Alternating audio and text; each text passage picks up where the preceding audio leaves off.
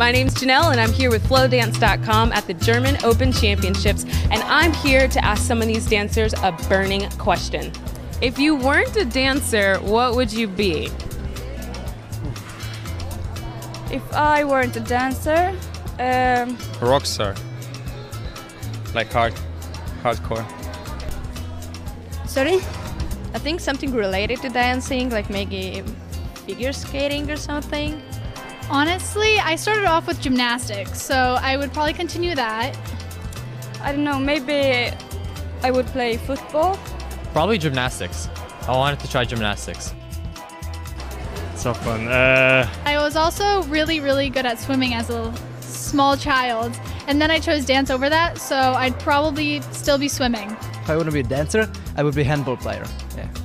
I will be a makeup artist because I love makeup and hairstyle. if I wasn't a dancer, I think I'd be a scientist. Oh, I think I would be a, ro- a, a singer because I love to sing also. I not understand the question, sorry.